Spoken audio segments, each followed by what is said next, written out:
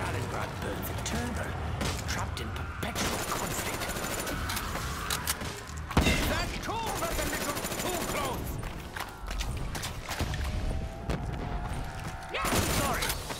Was just a little too uncomfortable for both of us.